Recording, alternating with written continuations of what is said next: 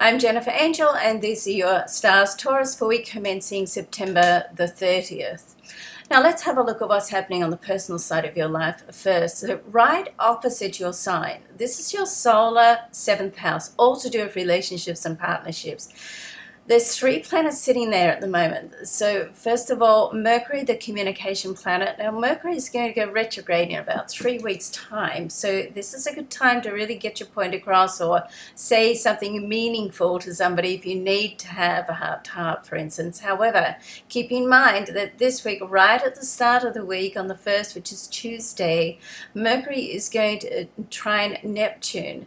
Now, with, with this, it's a soft aspect. So, so there's not too much to worry about. You just want to make sure that you get your point across the way that you want it to be received, all right?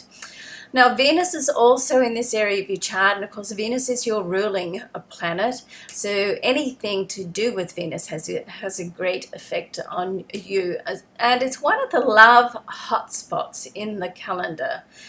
Um, so in about another week, next week, Venus is going to transit into the next sign, which will be your solar eighth house, and that'll be very good for money and resources, but we'll cover that next week.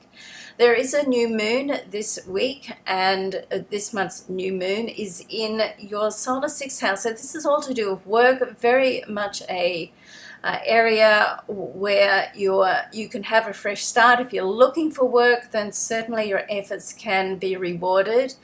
Uh, there are also some aspects this week that say to me, you want to stay true to you. Uh, Taurus on what you want to do on a work level. So, in other words, don't lose sight of your dreams.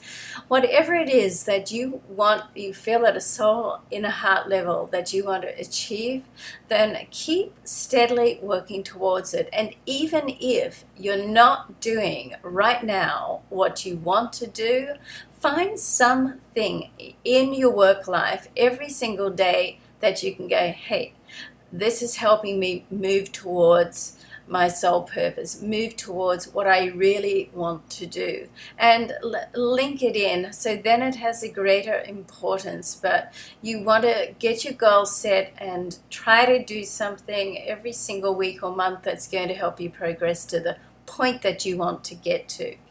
All right, so all good. There are some challenging aspects, but what's life without a few challenges? Nothing you can't overcome, Taurus. So uh, have a great week. I'm Jennifer Angel. Thanks so much for watching. Look forward to seeing you next week. Bye for now.